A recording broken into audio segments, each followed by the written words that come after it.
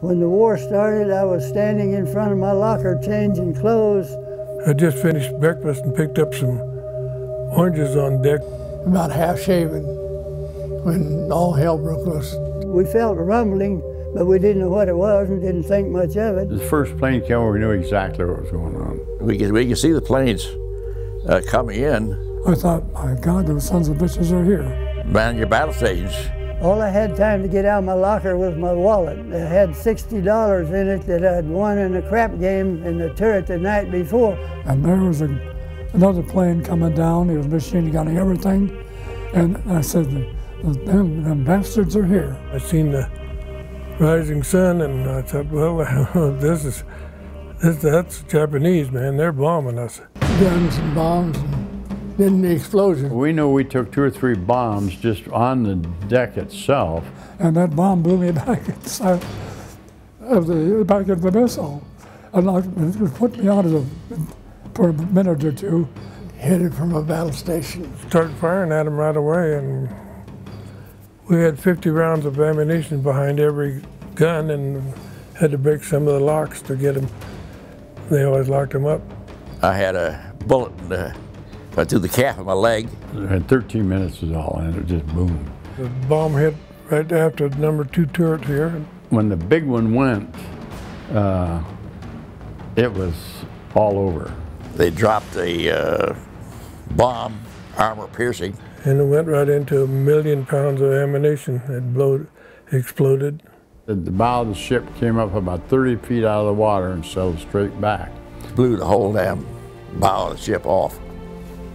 And the fireball went about five or six hundred feet in the air and just engulfed us up there. The fire uh, uh, ball is what got everybody up. Uh, no place to go.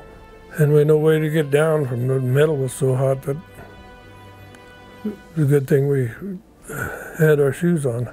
We started smelling smoke. Somebody said, get the hell out of here. It was over. I thought, well, we got to do something about this. We can't sit here and wait the ship goes down. We got to do something. Started up the, up the ladder and somebody was in there blocking the way. I said, get the hell out of the way. He says, I can't.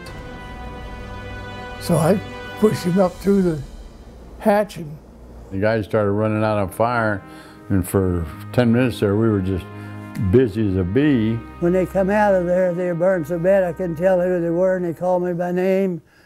Uh, one, one, arm, maybe the skin had slipped off, and the other arm was charred. Got the hold of uh, ship that was tied up next to us. We got a, the attention of Joe George on the on the vessel, and he threw us a heaving line, and uh, we drug it over, tied it off, and six of us got across that line. Vessel, vessel was lower than where we were at, and we went down and down and down. And to go back up to the vessel, that was when tough, tough, tough. I went up to the quarter deck and took my brand new shoes off I just bought the day before, laid them along the quarter deck, thinking I'm going to come back and get them. I ain't seen them since. Lieutenant Commander Sam Fuqua was the uh, officer in charge. And he said, get off now, abandon ship. Do you hear me? Abandon ship. And I said, well, I'm not going. He says, yes, you are. I said, I'm not going. My brother's on. I got to fight.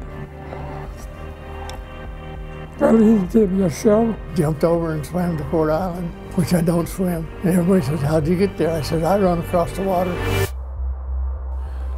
There were 1,522 assigned to the ship and 1,177 killed. December 7th, 1941, a date which will live in infamy.